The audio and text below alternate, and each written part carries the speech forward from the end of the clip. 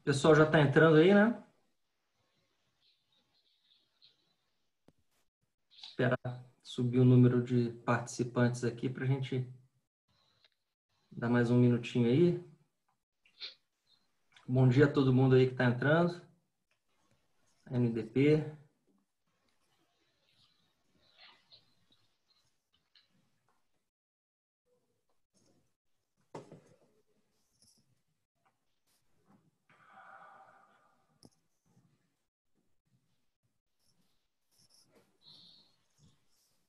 Bom, pessoal, temos aí já 90 e poucos participantes aí. Vamos esperar mais um pouquinho só para o pessoal terminar de entrar. Acho que estabilizou aqui. Bom dia, bom dia, bom dia. Bom, vamos começar, Mariana? Pode ser? Então tá, bom dia. É, eu queria primeiro me apresentar aí, a primeira vez que eu participo aí de algum evento aí promovido pelo IDP, então as pessoas provavelmente não me conhecem, né? Meu nome é Rafael Ferreira, sou assessor de ministro no Supremo Tribunal Federal, sou delegado de polícia do DF, da, do Distrito Federal, estou cedido ao Supremo desde 2016, portanto há uns quatro anos, né? É, queria primeiro aí dar bom dia aos colegas aí, doutor Marcelo Cavalli, Caio Sales, a Mariana Madeira, o Gustavo, né? E também o pessoal aí de apoio DP, o Matheus e a Emily, né? Agradecer o IDP aí pelo espaço. A gente tem aqui um, um ambiente aberto aí de troca de ideias, propício, muito propício para desenvolver, compartilhar informações, né? uma ferramenta importante aí nos dias de hoje. Né? É, hoje eu vou compartilhar a aula aqui com os colegas, o Caio Salles, né, com que eu tenho prazer lá e a honra de conviver no dia a dia lá no gabinete do ministro Marco Aurélio. O, o Caio é assessor de ministro lá no Supremo, é mestrando é, em Direito Penal pela Universidade de São Paulo e é um cara sensacional que chegou lá no Supremo como, como voluntário lá para fazer um estágio de seis meses e menos de um ano depois, pela capacidade que tinha lá, já se tornou assessor do ministro, né? Uma enciclopédia da jurisprudência do Supremo, é impressionante, vocês vão ver isso.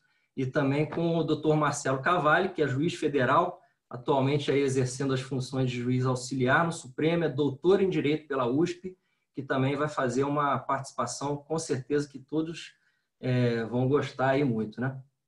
É, hoje é a terceira aula aí desse mini curso de habeas corpus no Supremo, que foi originário do livro que nós lançamos no ano passado, com o mesmo nome, né, habeas corpus no Supremo Tribunal Federal, né? Esse livrinho aqui, quem tiver interesse, né?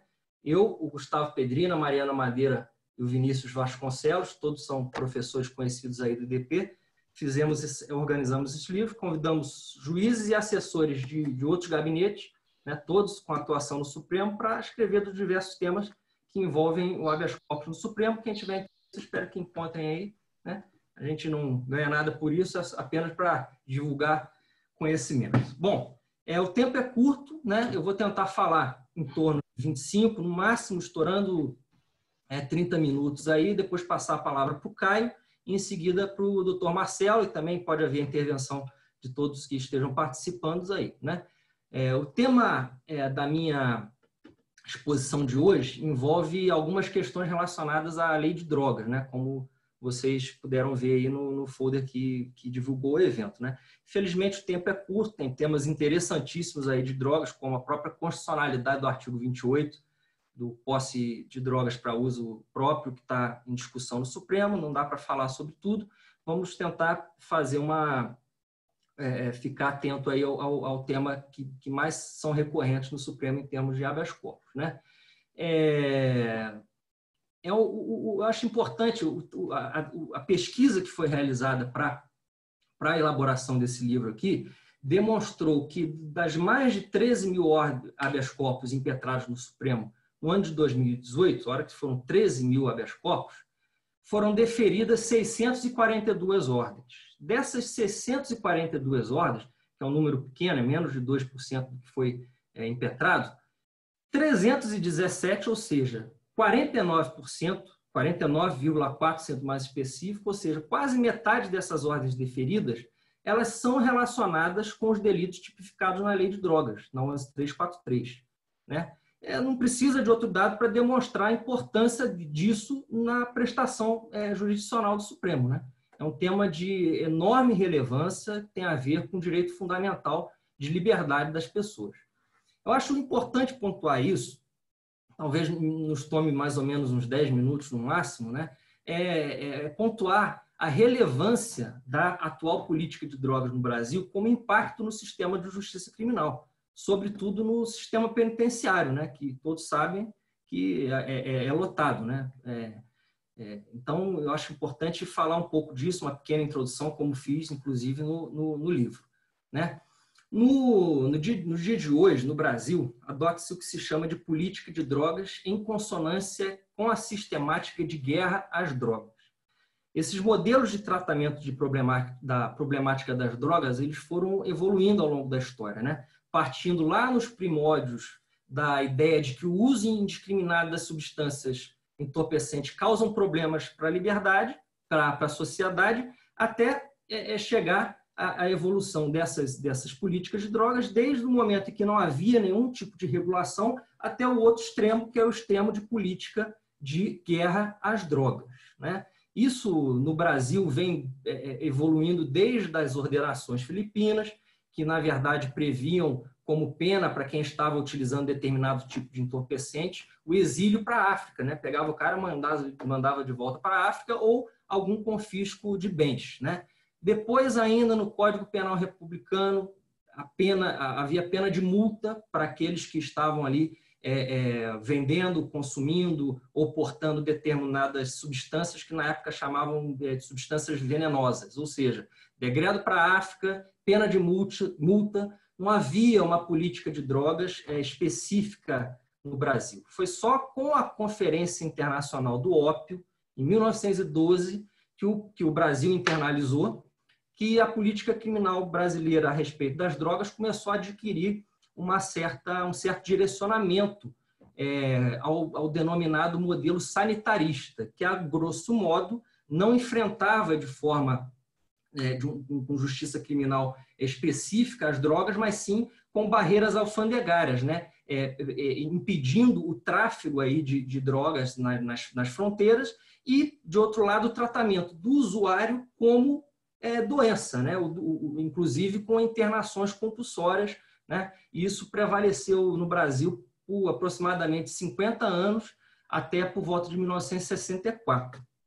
O grande marco da política de drogas no Brasil aconteceu com a Convenção sobre Entorpecentes em 1961, em Genebra, que foi também internalizada pelo Brasil em agosto de 64. Isso foi coincidente justamente com o regime militar que era vigente na época. Né? Então, é, essa, esse modelo da Convenção de Genebra, ele, ele preconizava um combate mais efetivo às drogas, era capitaneado, foi uma, uma, um contexto internacional que foi desenvolvido pelos Estados Unidos, que àquela altura tinha problemas gravíssimos com as drogas vindo da América do Sul, como, por exemplo, a cocaína da Colômbia. Então, eles tinham que fazer um, um programa de guerra às drogas, né? E o, e o Brasil internalizou isso bem na época do regime militar, que foi desenvolvida a chamada doutrina de segurança nacional, que elegeu os traficantes como inimigos do regime e consideraram as drogas como elementos de subversão.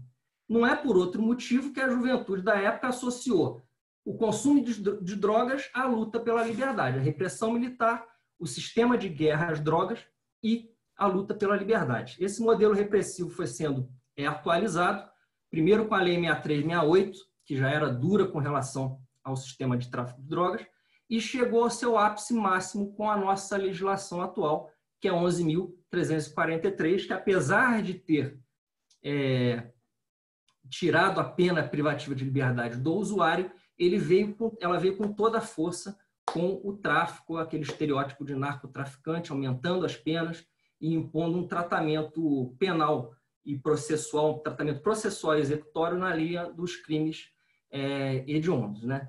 É, então, no, sistema de repressão, esse é o, é, o, é o, que se tem mais avançado, o mais gravoso que se tem, mas, de outro lado, é praticamente unânime a ideia, para quem estuda o tema, de que esse sistema de guerra às drogas não obteve sucesso quanto à redução dos crimes, quanto à efetiva dissuasão do uso dos entorpecentes, né? Inclusive, é, é a conclusão que se chegou no anteprojeto que tramita lá no Congresso, de, elaborado pela comissão que é presidida pelo ministro Ribeiro Dantas, do STJ, foi entregue ao presidente da Câmara no ano passado e, e eles chegaram à, à conclusão aí, é, com propostas de atualização da lei de drogas, a respeito de que essa política atual não foi capaz de obter sucesso com a, com a redução.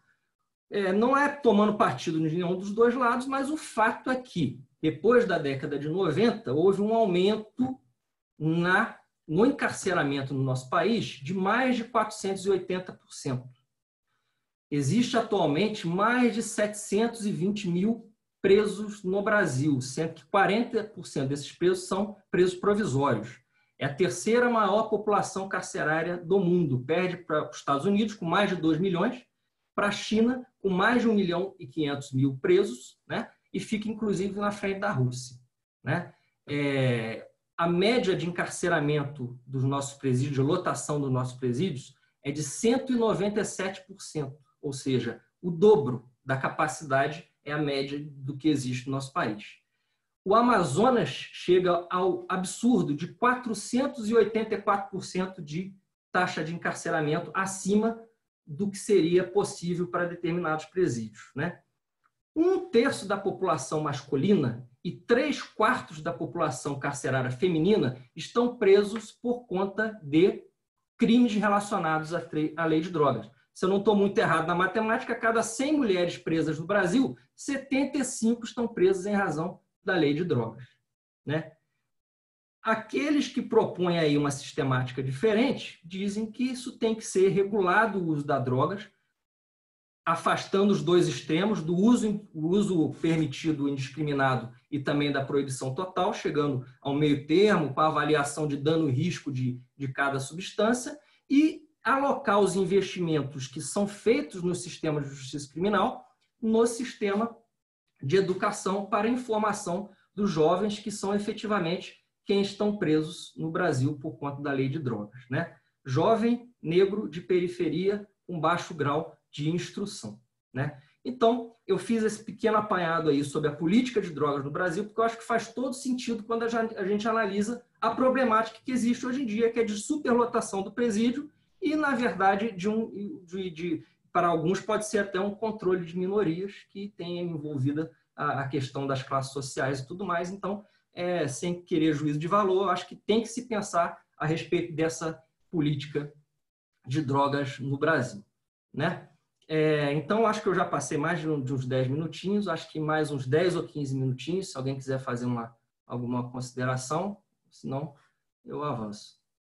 É, então, mais uns 10 minutinhos eu vou tratar aqui sobre duas matérias específicas que costumam é, acontecer, ser muito recorrentes lá no Supremo a respeito de, de da, da, lei de drogas, que não dá para falar sobre tudo. Uma delas é a questão da prisão preventiva, com base no delito de tráfico, que gera uma verdadeira avalanche de processo no Supremo.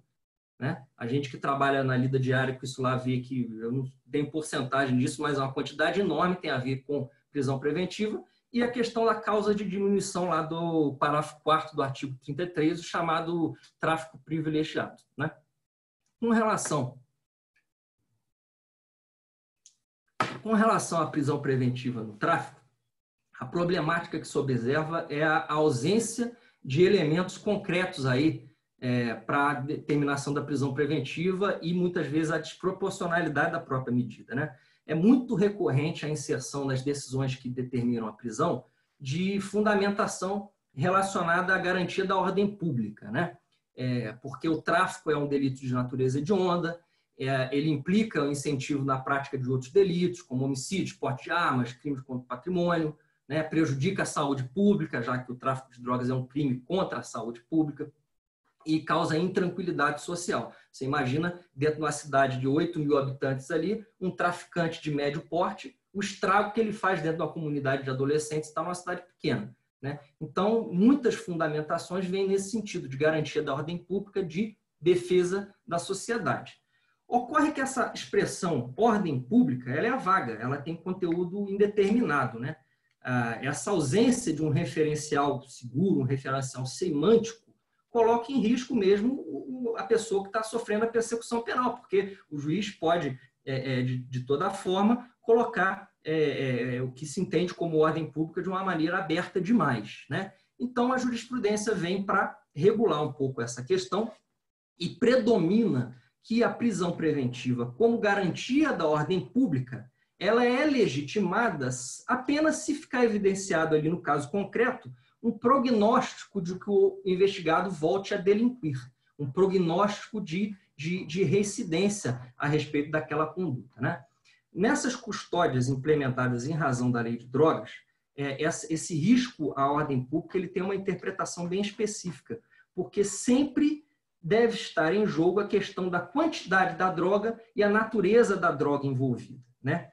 A lei 11343, lá no artigo 28 e no 52, inciso 1, diz que as autoridades elas devem justificar por que estão enquadrando, seja o delegado de polícia, seja o juiz na hora da sentença, ele deve é, justificar por que está enquadrando ali com relação ao tráfico ou usuário. Né? Tem que ver as condições que se desenvolveu a ação criminosa, as condições local, a quantidade da droga, a qualificação, os antecedentes do agente, isso tem tudo previsto lá.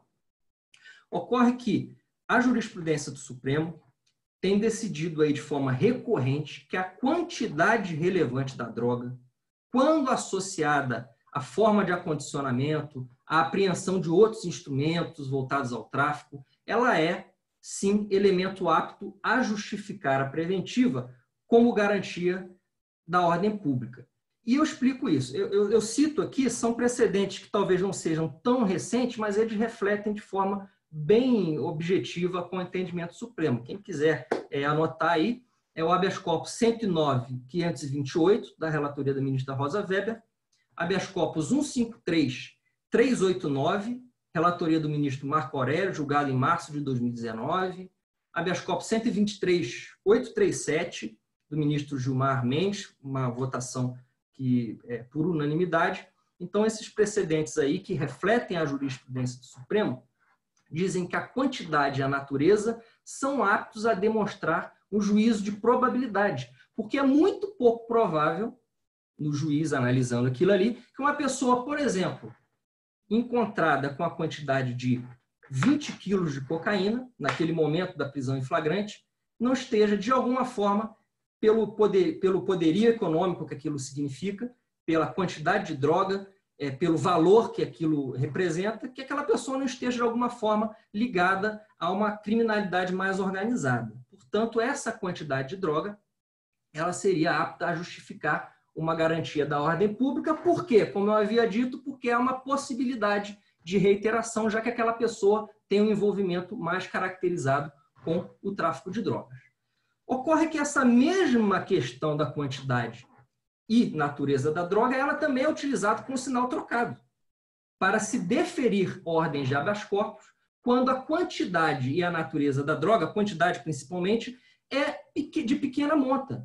E por si só, ela demonstra que, que junto com a primariedade do agente, junto com a ausência de outros elementos capazes de, de presumir a dedicação ao tráfico de drogas, ela demonstra que essa pessoa é o iniciante no mundo do tráfico, a pessoa é o pequeno traficante que provavelmente, sobre os holofotes da justiça, não vai se sentir incentivados a reiterar. Está aí a questão que, nesse caso, não havia fundamentação para a prisão preventiva, já que não há um prognóstico relevante de que aquela pessoa vai voltar a reiterar. E nesses mesmos casos, o prognóstico se faz é que essa mesma pessoa, ao final do processo, vai ter direito à incidência da causa de diminuição do 33, parágrafo 4 Aí entra a questão da proporcionalidade da prisão. Já que naquele momento da prisão preventiva, aquela pessoa não tem aqueles elementos ali. Se ao final do processo há um prognóstico que ela vai ter a causa de diminuição, implicando inclusive a, substituição, a, o regime aberto e a substituição da pena por restritiva de de, liber... de, restritiva de direitos, essa prisão preventiva não pode subsistir, porque seria uma medida mais é, é, gravosa no, no, início do que se teria ao final do processo. Né? Você pensa que uma pessoa é, de primário de bons antecedentes pega a pena mínima de cinco anos no tráfico de drogas. Ela tem direito a causa de diminuição no patamar de dois terços, vamos dizer, o patamar máximo. Essa pena vai para um ano e oito meses. Nesse caso, como ele é primeiro, primário de bons antecedentes, vai lá o regime aberto e ele teria direito ainda à substituição por pena restritiva de direito. Então, é, é, é, há de se lembrar também que a questão da liberdade provisória nos delitos está superada no julgamento do habeas corpus. A vedação da liberdade provisória está superada no, no julgamento do habeas corpus 104.339, foi declarada a inconstitucionalidade aí dessa expressão liberdade provisória lá no artigo 44 da Lei de Drogas, né? Então, eu cito aí como precedente desse, desses entendimentos todos que eu estou reportando a vocês o habeas corpus 140 379, 140 379 do ministro Marco Aurélio, relator para o acordo do ministro Roberto Barroso, o ministro Marco Aurélio ficou derrotado nessa, e do ministro Teori Zavascki, lá de 2016, é uma jurisprudência que já está bastante assentada, habeas corpus 135 250. Olha que caso interessante. O ministro Teori, na época, assentou. Não bastasse o auto de constatação preliminar atestar que foram apreendidos 2,9 gramas de crack e 5,1 gramas de cocaína, a revelar, diante da quantidade da substância, a desproporcionalidade da medida. É óbvio que uma pessoa presa com 2,9 gramas de crack e 5 gramas de cocaína não pode ser comparada nesse momento de prisão preventiva com uma pessoa que é encontrada com 20 quilos de cocaína. Só que a realidade que a gente vê nos nossos presídios, como já assentou o ministro Lewandowski em um julgamento importante no habeas corpus, é que o sistema penitenciário é abarrotado de pessoas que são caracterizadas como esses pequenos traficantes. E muitas vezes só vão ser soltos para que haja uma proporcionalidade nessa prisão, afastando essa proporcionalidade quando chega um habeas corpus no Supremo Tribunal Federal. Passou pelo Tribunal de Justiça, passou pelo STJ, que muitas vezes sequer conhece do habeas corpus, chega no Supremo Tribunal Federal depois de um ano, um ano e meio preso. Será que esse pequeno traficante, primário de bons antecedentes, que vai ter direito à causa de diminuição no final do processo, precisaria estar preso colocando 700 mil pessoas, colocando três quartos das mulheres presas no Brasil em encarceramento? É uma discussão que tem que ser levada a sério e foi por isso justamente que eu falei sobre aquele histórico todo de, de, de, de política criminal. Né? esses entendimentos eles têm sido utilizados, inclusive, é, de forma monocrática pelos ministros a revelar que estão pacificados, porque o ministro só pode dar essa decisão monocrática se nas turmas estiver assentado ali é, a jurisprudência pacificada. Né? Então, esses elementos de ausência de, de, de, de fundamentação e a ausência de pro, proporcionalidade são elementos aí que têm a ver com, com as causas de pedir dos habeas corpus. Para finalizar esse tópico, é, é muito importante chamar a atenção que não existe no Brasil um preceito legal, uma definição legal é, do montante de droga que deve ser considerado para fins de diferenciação, seja entre o usuário e o traficante, ou mesmo entre o pequeno traficante e o grande traficante. Não existe no Brasil o critério legal a respeito da quantidade da droga para fazer essa diferenciação. No Brasil é adotado o sistema judicial de avaliação. Portanto, a análise, os estudos dessas decisões do Supremo para se valorar aí essa quantidade, como o Supremo, as turmas ou até individualmente tem se decidido a respeito disso, é muito importante para a gente saber do que a gente do que a gente está falando como pequeno traficante que deveria ou não permanecer preso até o final do processo. Né? É, então, eu, eu, já vou me seguindo aqui para o meu último tema. Eu acho que eu vou falar no máximo mais uns 10 minutinhos. Eu acho que eu já estou até me alongando demais. É, vou tentar ser breve. É a questão relacionada à dosimetria da pena do tráfico lá na causa de diminuição. Essa causa de diminuição, obviamente, está dentro do contexto de individualização da pena. E a individualização da pena, como todos sabem, é um princípio constitucional. Tem a finalidade ali de eleger, dentro das penas disponíveis, aquela que vai ser aplicada ao, é, ao acusado, né, tanto quer em sua espécie, quanto na quantidade, bem como a maneira de execução. Tudo tem a ver com a individualização da pena. Portanto, o juiz deve justificar de forma adequada e fundamentada todos os contornos relacionados à medida de responsabilização por aquele fato praticado da pessoa.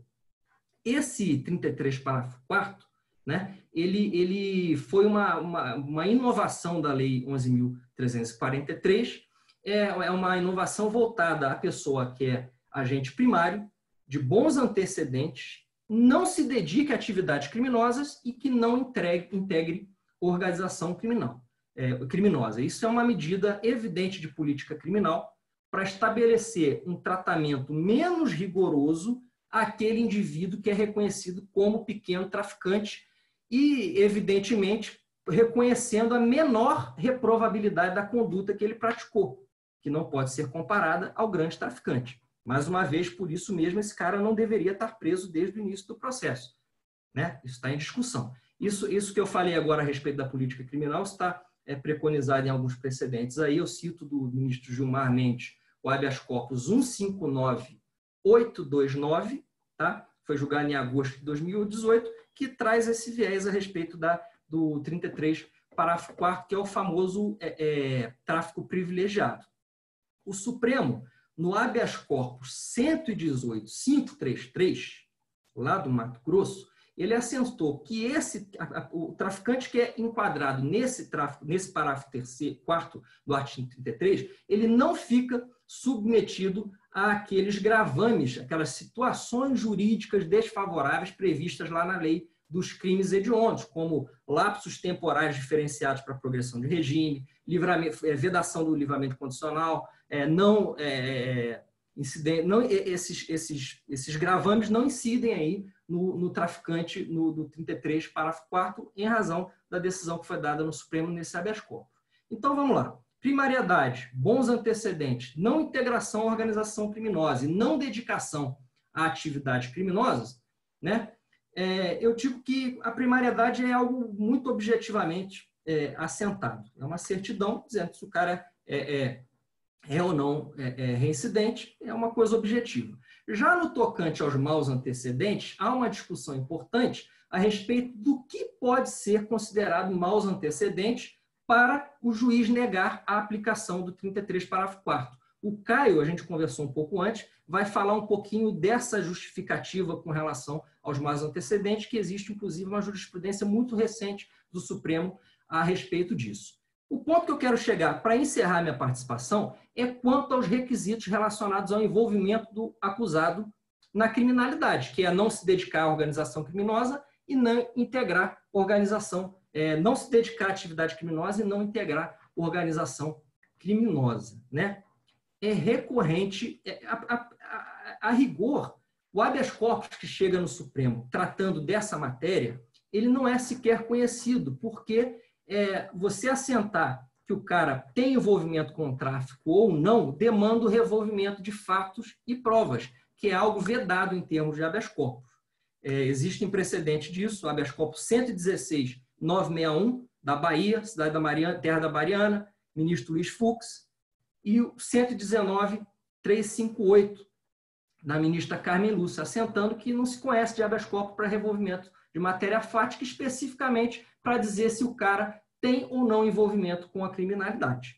Mas é muito recorrente que sejam dadas deferidas ordens de ofício quando essa ilegalidade ela é patente. Né? Cito aí como precedente do ministro Luiz Roberto Barroso, habeas corpus 111.309 e da ministra Rosa Weber 120.095. Volto ao tema da quantidade e ao tipo de droga traficada, porque aqui, na causa de diminuição do parágrafo 4 ela também é um elemento muito importante.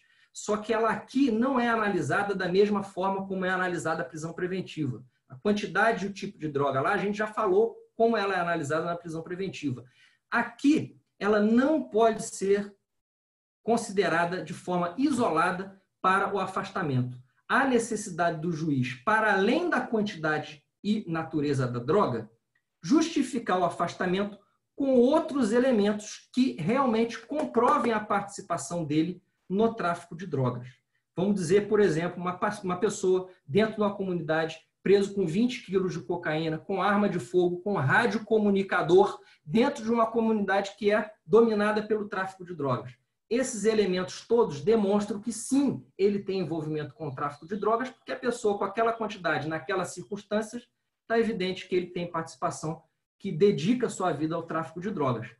Situação diferente do chamado mula do tráfico, que pode ser preso com a mesma quantidade de droga, mas não há outro elemento qualquer de envolvimento dele com organização criminosa, para além do mero transporte da droga, que muitas vezes é feito com base em ameaças e com base em troca de dinheiro. Mas daí a você assentar o envolvimento dele com a organização criminosa, são outros 500. Esses precedentes estão aí, habeas corpus 138, 138, do ministro Ricardo Lewandowski, 124, 107, e tem, tem, tem to, todos os outros aí que depois, quem tiver interesse, eu, eu encaminho.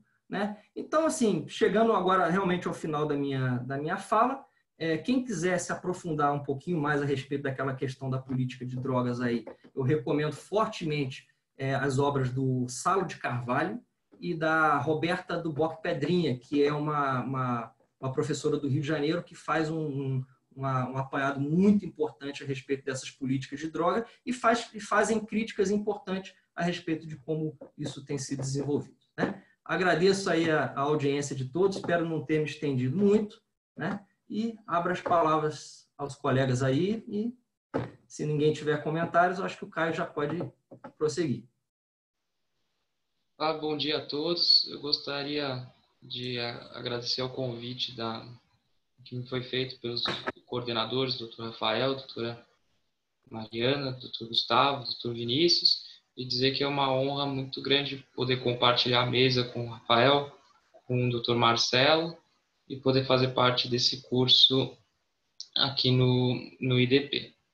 Bom, eu gostaria de dar continuidade ao que o Rafael estava dizendo sobre a questão do parágrafo 4 da causa de diminuição e tocar num assunto específico sobre ele, que seria o que, como o Rafael disse, faça necessário para a aplicação da causa de diminuição que o acusado preencha acumulativamente os quatro requisitos, ou seja, que ele seja, é, ele não tenha antecedentes, que seja primário não se dedique a atividades ilícitas nem integre organização criminosa.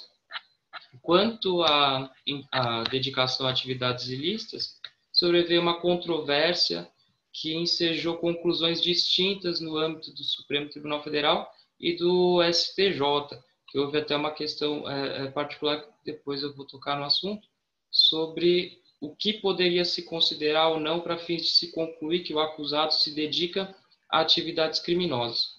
E no caso, a controvérsia específica dizia a respeito de se considerar ou não inquéritos ou processos em curso, né, para se dizer, ah, o sujeito, como ele tem os inquéritos em curso, ou como ele tem outros processos, ou ainda condenações não transitadas em julgado, que esses dados é, revelariam uma liquidez necessária para que se conclua no sentido de que ele se dedica.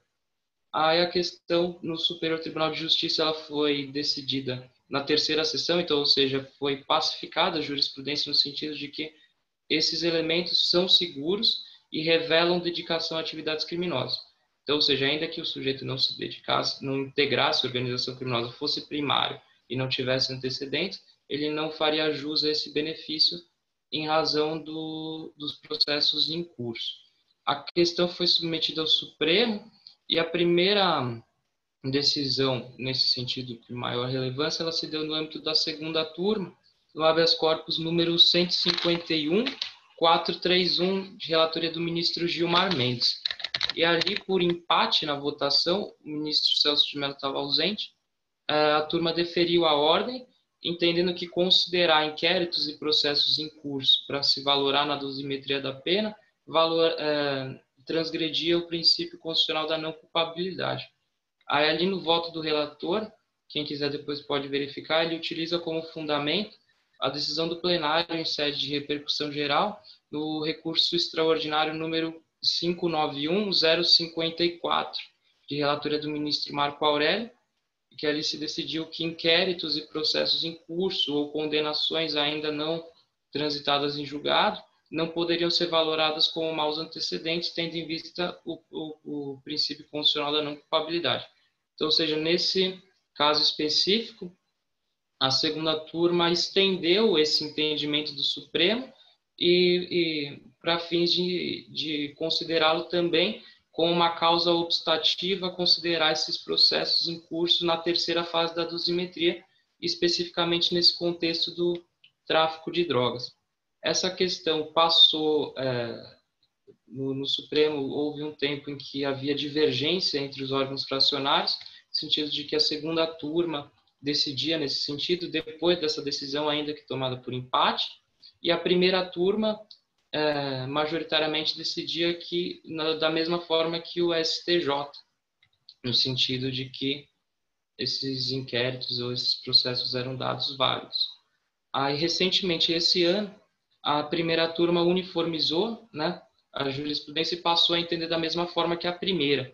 Aí eu cito título exemplificativo, habeas corpus número 173, 806, de relatoria do ministro Marco Aurélio, e habeas corpus número 166, 385, também de relatoria do ministro Marco Aurélio.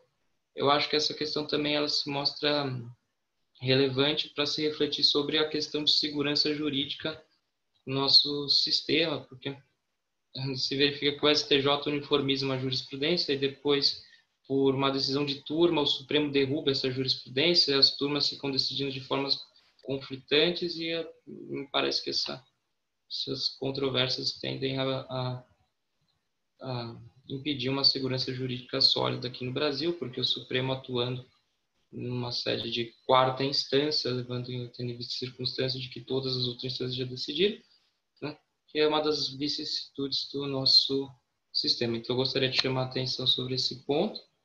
E outro tema que eu gostaria de chamar a atenção, que chega com bastante incidência no Supremo, é quanto à configuração típica do artigo 35 da Lei de Drogas, que é o, o associação para o tráfico. E aqui sobre esse ponto eu vou fazer um, eu vou trazer precedentes do, do Supremo Tribunal sobre essa matéria com base na legislação anterior de como o Supremo decidia, que a, a época era o artigo 14 da Lei 6.378, e justamente fazer esse paralelo com o que o Supremo decide hoje e o quadro que nós encontramos hoje, como os tribunais têm decidido, porque é muito comum se verificar que cada tribunal decide de um jeito, eles consideram uma base probatória para se condenar de uma forma é, ou de outra, né? Isso é muito, muito curioso também. Aí eu passo a leitura do, do tipo, que é associarem-se duas ou mais pessoas para o fim de praticar reiteradamente ou não qualquer dos crimes previstos nos artigos 33 e parágrafo 1 né? A legislação anterior, né, Lei 6.378, no artigo 14, a, o, a redação era muito parecida. Veja, associarem-se duas ou mais pessoas para o fim de praticar reiteradamente ou não qualquer dos crimes previstos nos artigos 12 ou 13, isso na, da legislação anterior. E o que eu gostaria de chamar a atenção, principalmente, é que esse crime, como ele tem como verbo nuclear justamente o associar, esse associar, obviamente, ele não pode ser considerado como um mero ajuste ocasional que seria apto a caracterizar um concurso de pessoas. Ele exige muito mais ele se faz como um paralelo ao associar-se para fins de, de quadrilha do artigo 208. Esse artigo 35, na verdade, ele se constitui num, num crime contra a paz pública, especial em relação à quadrilha, porque ele tem a finalidade específica de que os crimes visados pelo grupo se constituam nos crimes da lei de drogas delimitados no próprio tipo. Então, ou seja, é muito comum é, que pessoas sejam condenadas por esse tipo, ou muitas vezes denunciadas, é, sem que exista essa associação, esse vínculo associativo, né, caracterizador de uma relação estável e permanente. Isso que é o essencial, que o vínculo se mostre duradouro a partir de uma associação prévia, autônoma em relação à própria traficância, e essa vontade tem que ser é, estável e permanente eu encontrei sobre a época do, do artigo 14 um, um voto do ministro Sepúlveda Pertence que é muito elucidativo sobre isso.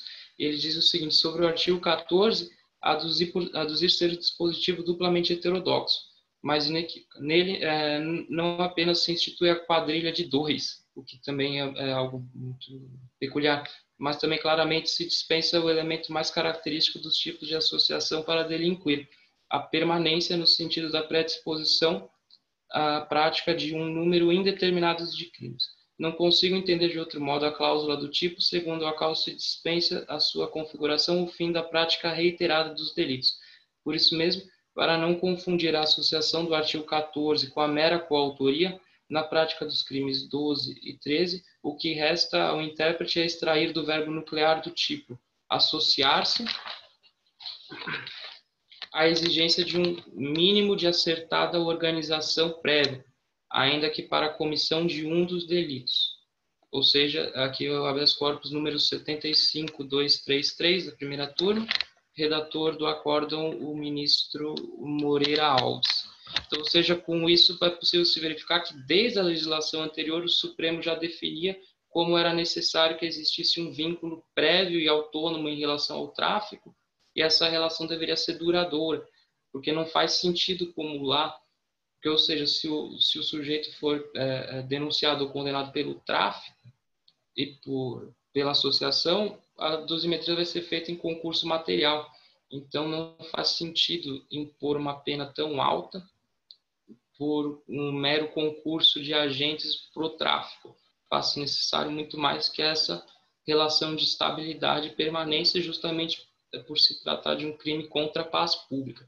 Aqui, nesse mesmo sentido também, na sob a da legislação anterior, o habeas corpus número 72624, do relator o ministro Maurício Correia, e habeas corpus número 64840, da primeira turma, relator o ministro eh, Nery da Silveira, que os dois, nesse sentido, deixam muito claro sobre o paralelo que existe entre a quadrilha e o artigo 35, que não se pode se desvencilhar dessa interpretação.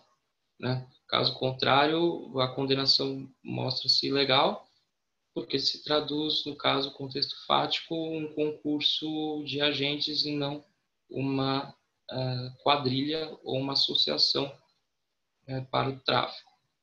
Aí, uh, a partir da legislação nova, né, do artigo 35, o Supremo manteve essa jurisprudência e continua a entender que se faz indispensável a vinculação estável e permanente. Aqui, por exemplo, eu posso citar, no âmbito da segunda turma, o habeas corpus número 124.164, relator o ministro Teori Zavascki, e aqui a, a, a turma acolheu, né, ela decidiu, principalmente com base na doutrina do professor Vicente Greco, em que o professor defende que para a incidência do delito agora comentado, é, em virtude da, da cláusula reiteradamente ou não, poder-se entender que também configuraria o crime simples concurso de agentes, porque bastaria o entendimento de duas pessoas para a prática de uma conduta possível. Parece-nos, todavia, que não será toda vez que ocorrer concurso que ficará caracterizado o crime em tela. Aí veja, haverá necessidade de um ânimo associativo, isto é, de um ajuste prévio no sentido da formação de um vínculo associativo de fato, uma verdadeira vontade necessária à prática do crime visado. E por que isso tudo é relevante? Porque o que se verifica é que os tribunais, eles não, a grande maioria, né, que chega no Supremo, principalmente, a gente consegue verificar uma grande confusão que existe, que eles não separam para condenar pelo 35 um vínculo prévio. Ele, o que há ali é uma grande confusão entre um concurso de, de vontades de pessoas presas em flagrantes, flagrante num determinado contexto, que obviamente é um contexto que se traduz em concurso de agentes, para fins de aumentar a pena. Então, por exemplo, é muito comum fundamentações no sentido de que foram presos é, conjuntamente, e também questões sobre a quantidade da droga e tal, e nada que se indique de, em questão de provas sobre um, um, um, um conluio permanente que existisse entre os agentes. Então, no âmbito do Superior Tribunal de Justiça também há várias, vários julgados reformando decisões dos tribunais de justiça, dos tribunais regionais é, nesse sentido também sobre o que o, o, Rafael falou sobre a questão de se analisar isso em sede de habeas corpus ou não, eu também gostaria de frisar que, em, em regra, é muito difícil se analisar isso em, em sede de habeas corpus, justamente porque ele pressupõe a liquidez dos fatos. Né? O habeas corpus hum, desautoriza a incursão é, é, no conjunto fático probatório. Contudo, é plenamente possível, nos casos em que a, as premissas fáticas estejam delineadas nos, nos pronunciamentos das instâncias é, anteriores, que o Supremo faça não uma análise do conjunto fático probatório, mas só uma, é, uma revaloração jurídica para se verificar se aquela prova indicada é, não, é ou não o suficiente para se concluir que ali se, se os acusados é, constituíram de fato uma associação. Né? Em regra, portanto, não é possível, por se por pressupor uma análise do conjunto fático probatório, contudo, há casos em que isso é possível sim, quando haja liquidez entre os fatos, né? quando os fatos delineados nas instâncias sejam plenamente passíveis de serem valorados só e que o julgador não precise buscar provas, não precise não seja dilação probatória. Nesse sentido, também a, o, a decisão que eu havia citado anteriormente, o habeas corpus número 124.164, que o ministro Teori deixou isso muito claro, como também o, o, o recurso em habeas corpus número 75.236, ministro Sepúlveda pertence, e sobre essa questão específica de revaloração ou de essa distinção entre revaloração de prova e de análise de prova, está muito claro também no nos trata da matéria, mas é muito importante, o Supremo aplica isso reiteradamente no recurso extraordinário número 122 011, é, relator o ministro Moreira Alves. Aí, passando agora sobre um outro tema que eu gostaria de tocar, que é uma, a questão da tipicidade da importação ou da aquisição de sementes de maconha, né? porque havia uma controvérsia relevante sobre se essa conduta se amoldava ao artigo 33, parágrafo 1 que prevê no caput o tráfico e no parágrafo 1 o, o tráfico por equiparação, né? Seria aqui, no caso, sobre a controvérsia especificamente, quem importa, exporta, remete, produz, fabrica, adquire, vende, expõe à venda, oferece, fornece, tem em depósito, transporta, traz consigo ou guarda, ainda que gratuitamente, sem autorização em desacordo com determinação legal ou regulamentar, matéria-prima, insumo ou produto químico destinado à preparação de drogas. A questão, portanto, ela fica nessa é, situada sobre se a semente se trata ou se elas se constituem em matéria-prima ou insumo destinado à preparação de drogas. Aqui, para se interpretar essa controvérsia, é, deve-se levar em consideração principalmente a questão do princípio da legalidade e da taxatividade que é exigida para a interpretação dos tipos penais.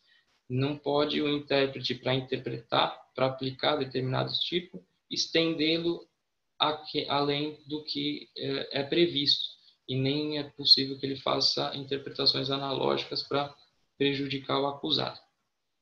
E aqui, especificamente sobre a, a semente, o importante é, é que se constate que na semente, por si só, não existe o princípio ativo. É preciso que se interprete o artigo 33 aqui com a portaria número 344. Essa é a questão relevante porque o que é proibido não é necessariamente a semente, e sim o princípio ativo da droga, que no caso seria o THC. Essa questão passou muito tempo o STJ decidindo no sentido de que a semente configuraria a matéria-prima e o próprio Supremo Tribunal também decidindo que isso seria matéria-prima. Acontece que no, no, ano passado, na segunda turma, no habeas corpus número 144.762, no redator do acordo, o ministro Gilmar Mendes, e habeas corpus número 144.161, relator o ministro Gilmar Mendes, se decidiu que a semente não era matéria-prima. E por quê? A matéria-prima exige que o, o, o material constitua parte do produto. No caso da semente, isso não se verifica porque a semente precisa de uma transformação. Né? O que é matéria-prima para maconha não é a semente, é a planta. E a própria portaria, ela proíbe não a semente, ela proíbe a, a planta, né? A semente por si só, ela é, é, é inócua. Eu trago aqui até o, o, o conceito de matéria-prima, né? Que diz que uh, substâncias que podem ser extraídas ou produzidas né, do, dos entorpecentes causadores de dependência. A semente não tem THC, né? E ela também por si só ela não não vira planta, ela precisa passar por um procedimento de germinação e depois vai se constituir planta que por sua vez vai ser possível dela se extrair o, o THC. Então, levando em consideração o princípio da legalidade, o princípio da e a questão da interpretação que deve ser taxativa, não se pode alargar o conceito de matéria-prima para se entender que a matéria-prima e que a semente ela é matéria-prima. Então, por isso mesmo, a, a conduta de quem importa ou de quem adquire sementes de maconha, ela não se reveste de tipicidade, né? Também é uma decisão é, bem relevante, bastante densa dessa é, questão do, do, ministro Celso de Mello, pelo habeas corpus número 143.890, em que, é, embora ele não tenha participado na turma dos julgamentos, essa decisão é, sede monocrática, ele exaure a, a matéria e, e é, um, é um, voto, uma decisão muito, muito didática, que ele aborda também no começo essa questão da taxatividade, ele explica por que não se pode alargar, tendo em vista a circunstância de que a conceituação de matéria-prima não permite que a semente nela se enquadre, né? Então, acho que isso também é uma matéria muito relevante, porque foi outra vez em que o Supremo acabou mudando sua jurisprudência e isso teve circunstâncias também com, a jurisprudência do, do, STJ e, consequentemente, de todos os outros tribunais. Né? O, um outro ponto que eu gostaria de, de, tocar também, eu gostaria de fazer só considerações breves, porque há decisões recentes e parece também um, um assunto relevante que é sobre a relação existente entre o artigo 33, que seria o tráfico de drogas, e o artigo 34, que é o, a conduta de quem importa né, instrumentos destinados à fabricação do, dos entorpecentes. E o, que eu, o aspecto específico que eu gostaria de chamar a atenção seria sobre quando esses crimes constituem infrações autônomas ou quando existe uma relação de absorção entre eles, né?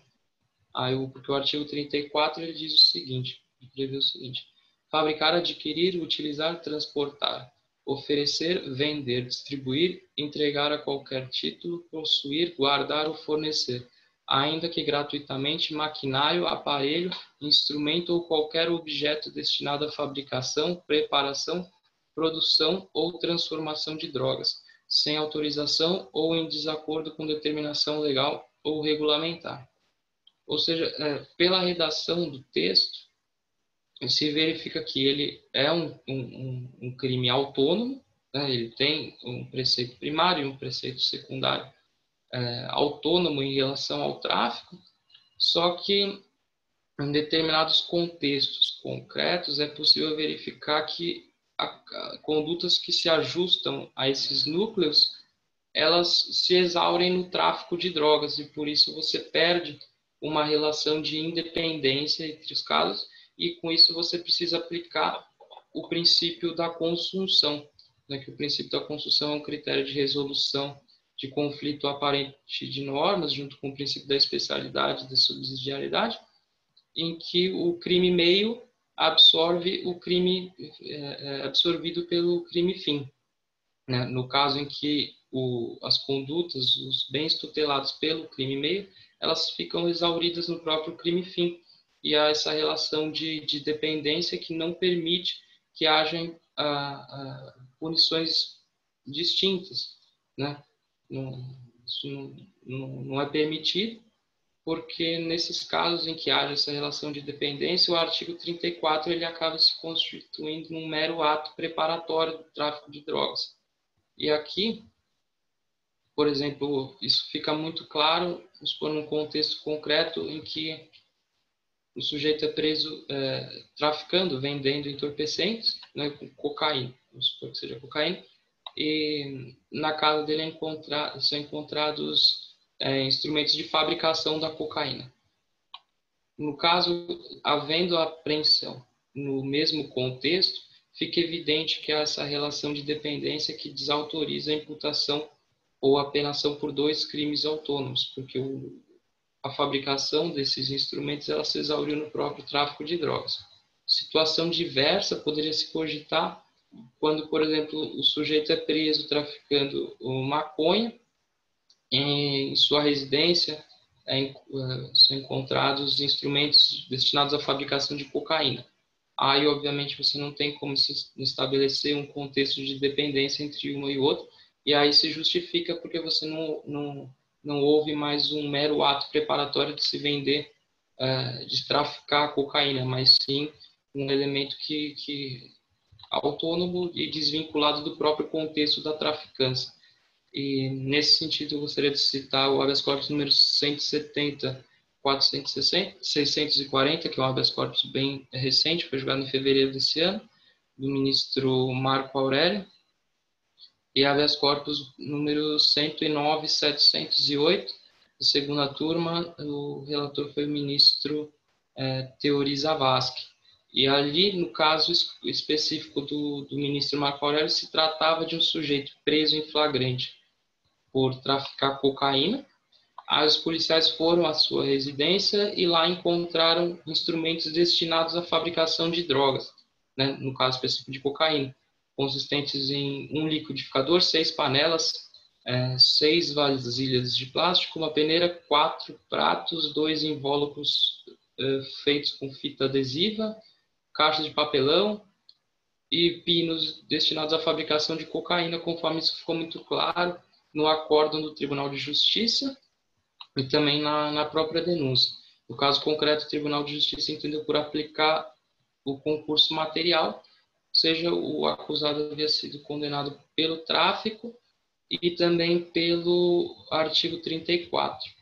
Aí o Supremo Tribunal, numa, numa votação unânime da primeira turma, entendeu ali o seguinte, o, o voto do relator é possível considerar que ele disse que embora os crimes sejam autônomos, né, no caso concreto, a, a posse dos instrumentos destinados constituiu-se numa mera, num mero ato preparatório do artigo 33, que era vinculado justamente por se tratar de tráfico de cocaína e de instrumentos destinados à fabricação de, de cocaína.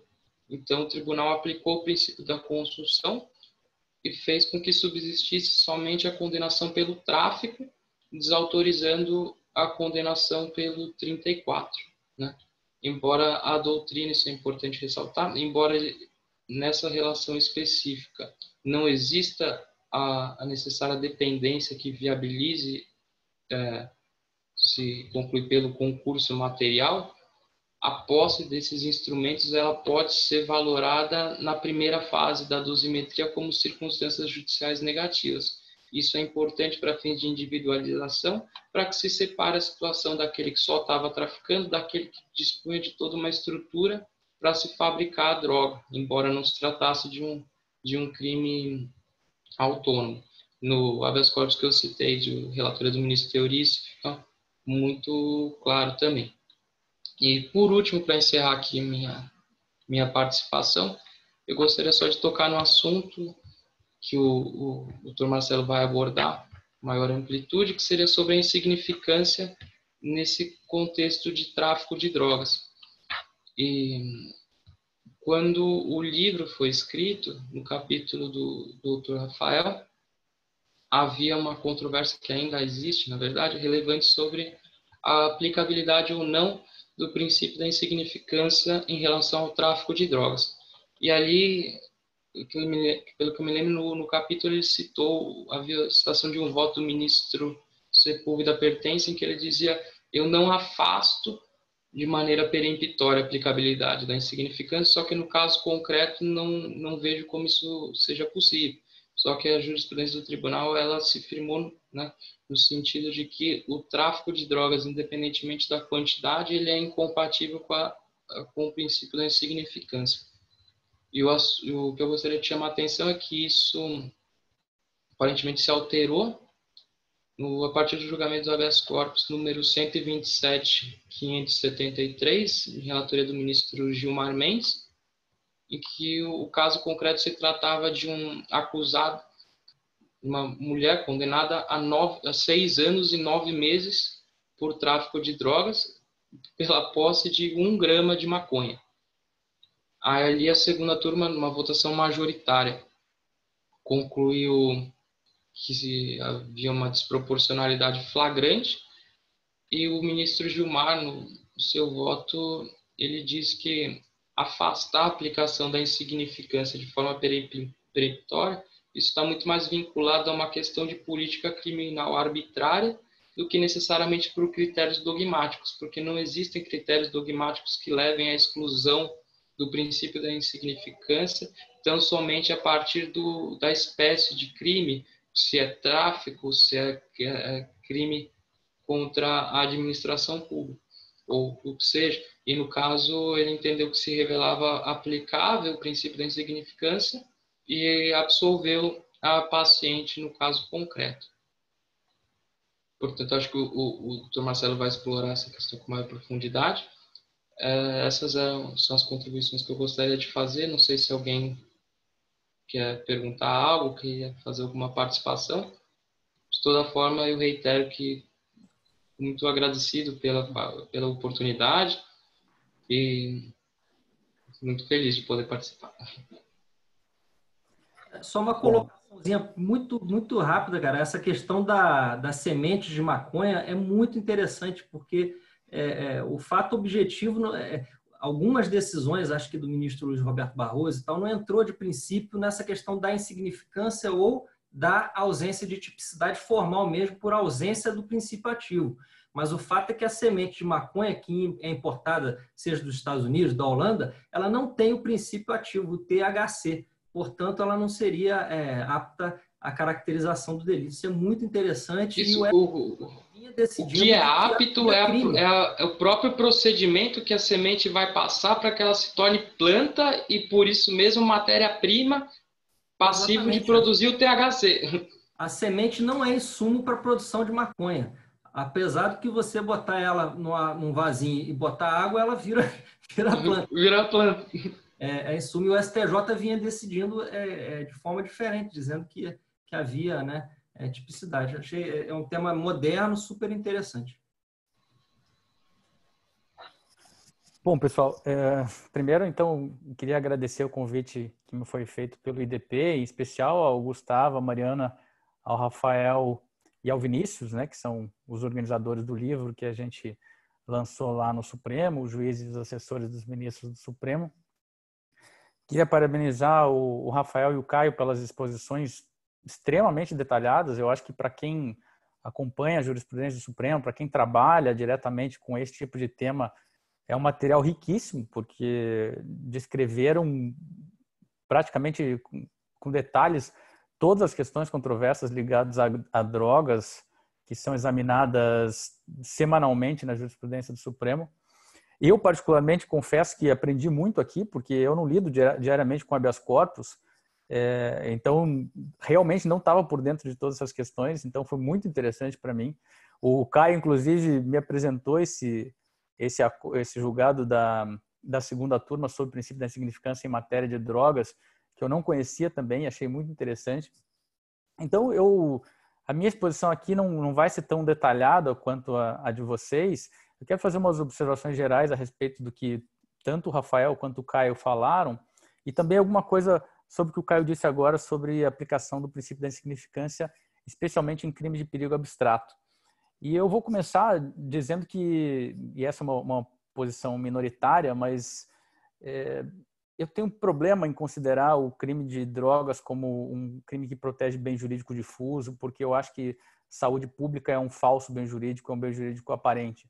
Essa ideia não é minha, é do Schunemann na Alemanha, e é uma crítica que ele faz justamente ao julgado em que o Tribunal Constitucional alemão considerou que era constitucional a, a tipificação como crime do, do porte de drogas, porque ele dizia que não há um bem jurídico saúde pública, porque bens jurídicos supraindividuais são indivisíveis. E como saúde pública nada mais é do que a soma da saúde de diversas pessoas, não haveria esse bem jurídico saúde pública. Esse é um subterfúgio retórico para a gente tipificar com uma conduta que, na verdade, é, é meramente é, viola uma moral de uma determinada parcela da sociedade.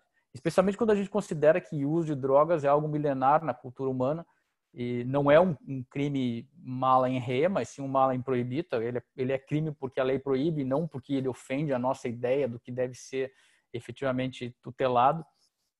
Eu penso que a, a, a proibição de drogas é, num Estado de Direito ela não cumpre propriamente a sua função. A função do Estado de Direito é garantir o livre desenvolvimento das pessoas é, e não se portar como um Estado paternalista que pretende dizer aos outros o que, que é melhor para a sua vida. Aliás, esse tipo de concepção de Estado é o que gera é, mitos e heróis, como a gente tem por aí hoje, em que as pessoas imaginam que será o Estado que vai nos dizer o que é melhor para nós, ao invés de criar cidadãos responsáveis pela sua própria vida que possam tomar as decisões que lhe parecerem mais adequadas, ainda que isso implique em prejuízo à própria saúde. E aqui eu estou falando de cidadãos responsáveis, não alguém que tem algum tipo de problema mental ou que seja menor de idade.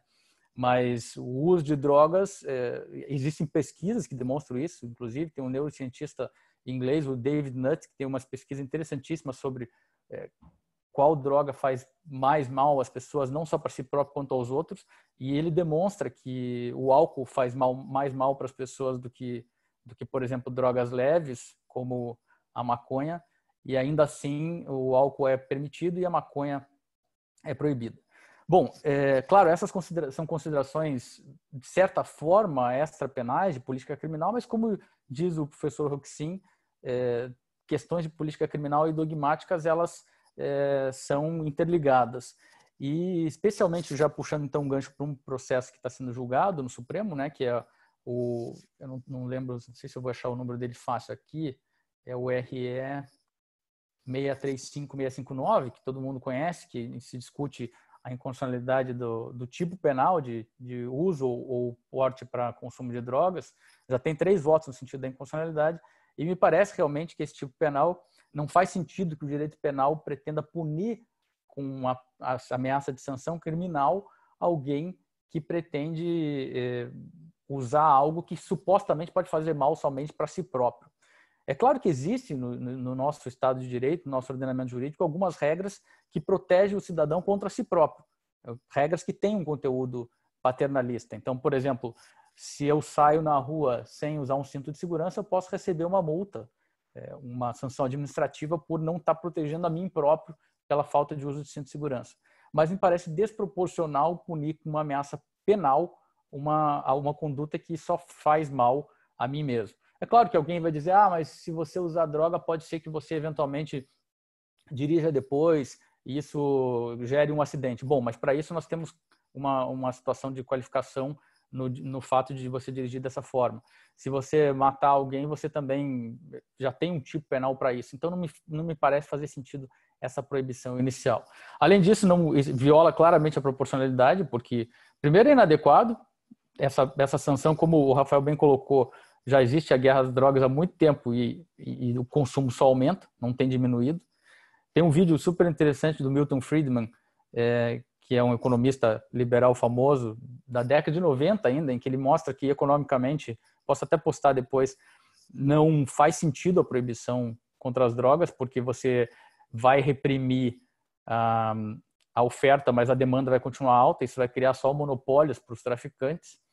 E é desnecessária também, a gente vê, por exemplo, outras substâncias consideradas nocivas para a saúde, como o cigarro, teve uma diminuição de 35% para 15% dos fumantes, com outras medidas que não criminais, como contra-propaganda e proibição de propaganda e contra-propaganda nos maços de cigarro. E é também desproporcional em sentido estrito, justamente por essas razões todas que a gente está discutindo aqui. É, 30% dos homens nas cadeias são processados por por crimes ligados ao tráfico, mais ainda são mulheres. Isso tem criado uma sociedade mais violenta é, é, ainda existe essa questão da discriminação na prática sobre quem é efetivamente punido por drogas. Então, me parece claramente é, inconstitucional. Por outro lado, também essa distinção entre porte e, e tráfico, ela é muito tênue, porque na nossa legislação a gente não tem critérios objetivos para isso. É, outros países têm, fazem essas distinções. Eu verifiquei aqui, uma, existe uma pesquisa da Senad que examinou 48 países.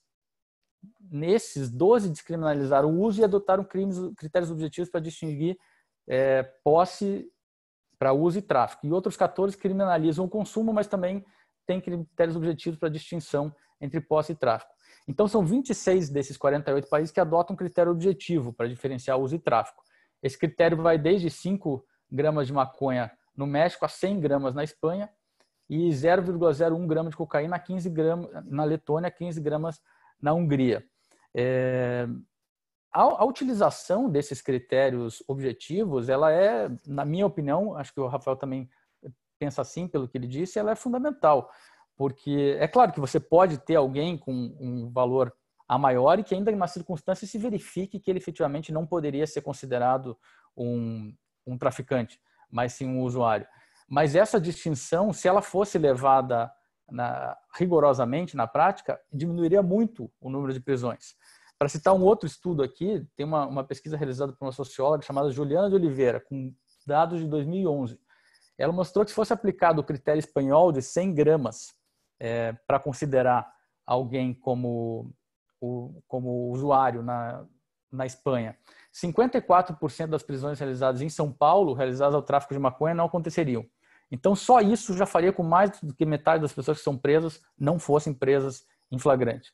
Se fosse utilizado o critério português, que são 25 gramas, já seriam 30%, 29% menos prisões. Então, já seria um, um avanço gigantesco. É, por isso mesmo que no voto do, do ministro Barroso, nesse RE 635-659, em que se discute a liberalização, ou menos a, a não criminalização né, do porte para uso de maconha, ele propôs o parâmetro ou de 40 gramas, que é usado no Uruguai, ou de 25 gramas de maconha para distinguir o usuário do traficante, que é usado em Portugal. Ainda menor do que essas 100 gramas que é proposto na Espanha, mas seria um critério objetivo que, por si só, já diminuiria bastante o número de prisões. A gente tem os critérios atuais, né, em que a gente, em que a gente, com que a gente trabalha, que são os critérios que estão na lei. Então ele fala em atenderá à natureza. Ok, existem drogas que são mais pesadas. Então traficar cocaína não é a mesma coisa que traficar heroína ou crack.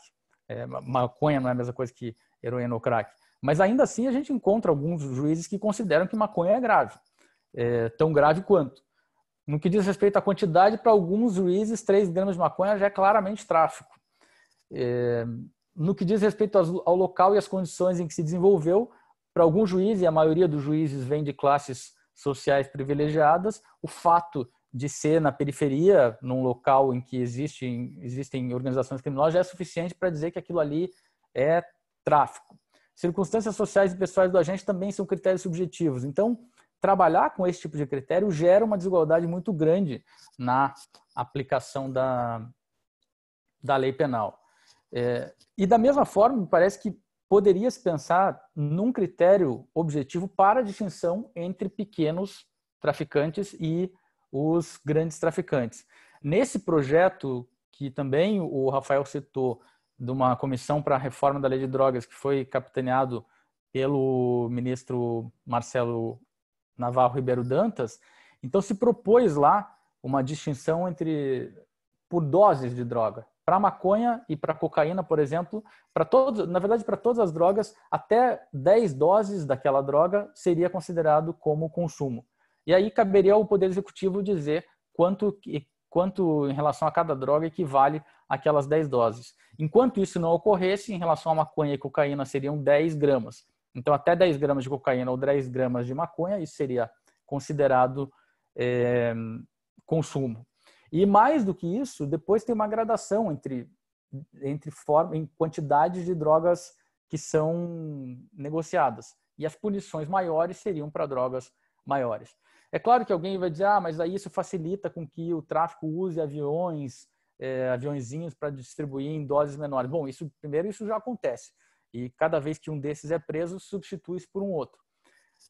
O que o, o, o, seria de se esperar se a gente vai continuar tipificando o tráfico é que essas pequenas prisões não acontecessem e que as autoridades de persecução penal fizessem atividade de inteligência para justamente seguir essas pessoas e identificar quem são os verdadeiros donos da droga, que são aquelas pessoas que realmente faria sentido prender, ao invés da gente continuar prendendo essa gente pobre é, e, e alimentando as facções criminosas na cadeia. Bom, mas essas são algumas observações gerais que eu queria fazer. Como eu disse, é, eu não, não tenho esses detalhes todos que o Rafael e o Caio apresentaram sobre a jurisprudência atual, eu queria fazer só um comentário a mais sobre a questão do, da aplicação do princípio da insignificância, que eu achei super interessante essa aplicação no caso do tráfico.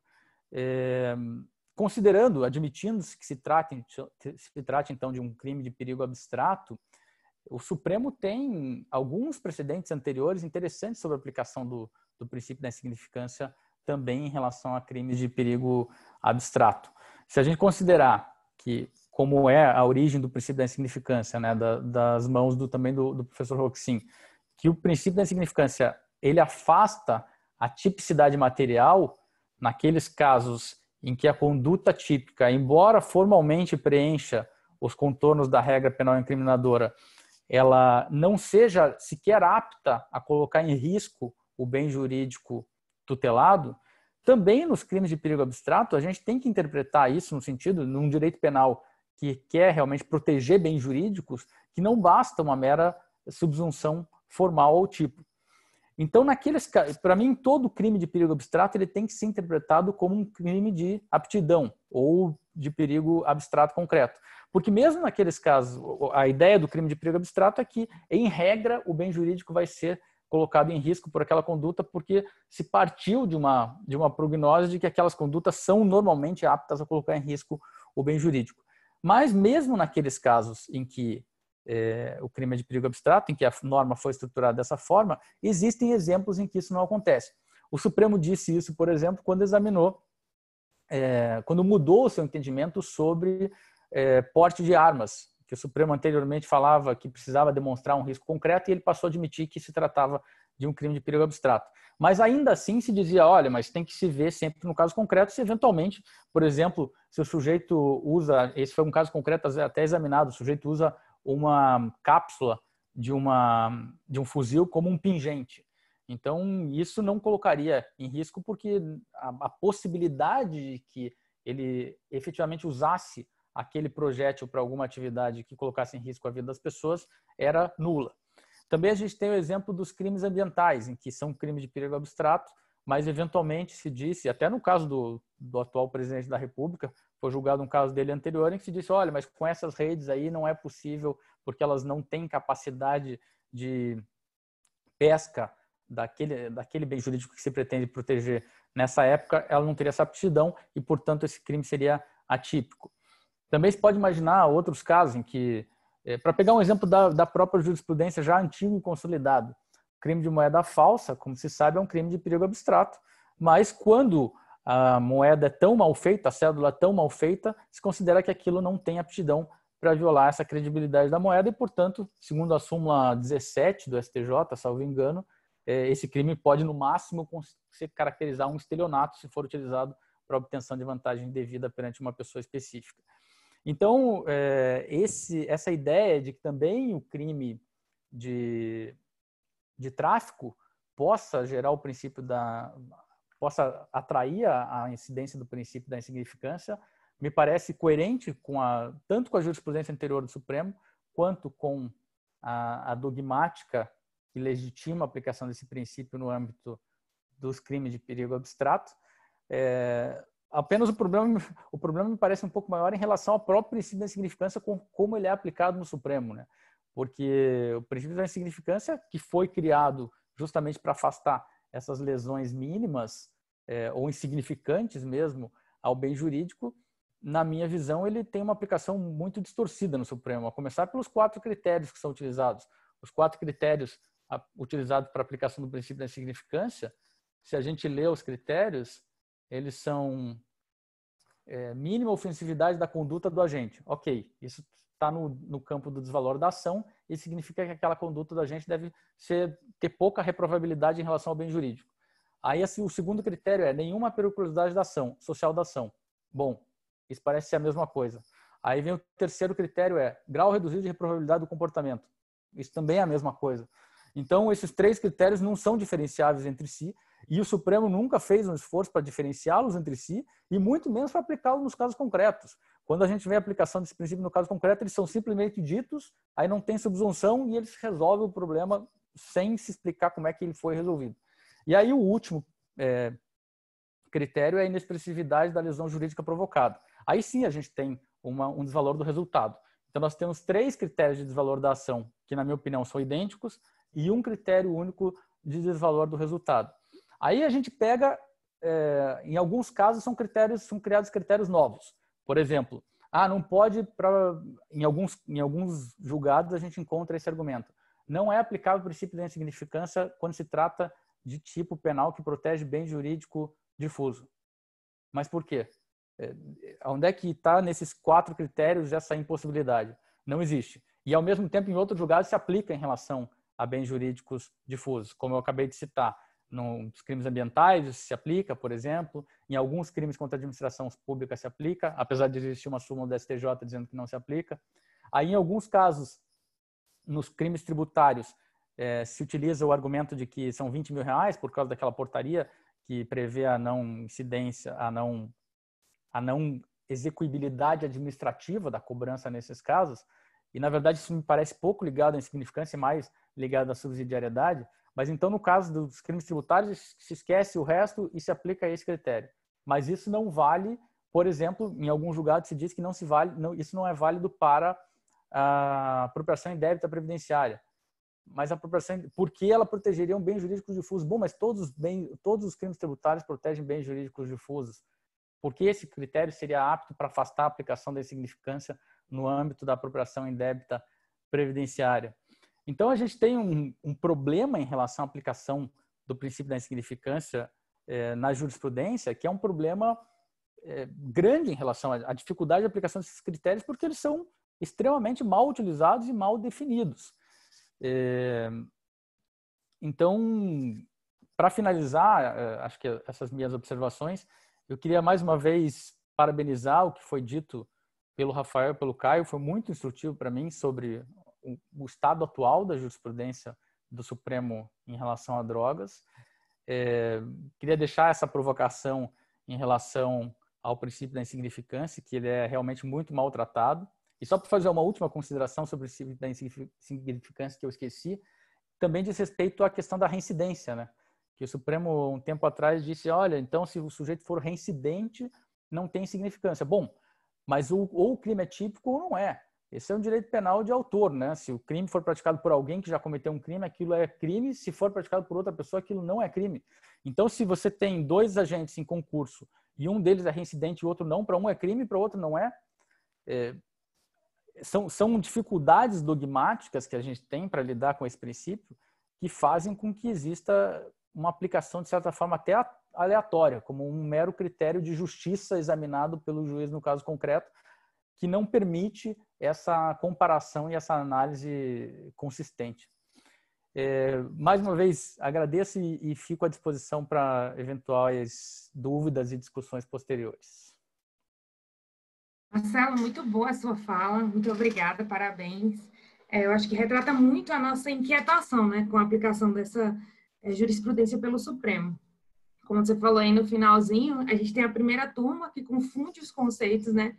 De culpabilidade e tipicidade com relação à insignificância, mas a segunda turma, a gente já viu que eles aplicam, têm aplicado a insignificância mesmo quando a gente não é reincidente. Então, eu acho que essa nossa discussão, que é fruto muito do seu estudo publicado no livro, é, ajuda, né, a, como os ministros tiveram acesso, inclusive, à obra e leram gostaram bastante, eu acho que ajuda muito a construir, a melhorar é, a nossa jurisprudência nesse sentido. Muito obrigada, assim, a gente fica muito feliz com a participação de vocês e com a, com a participação de todos, aqui uma audiência enorme desde do, do, da primeira aula na semana passada.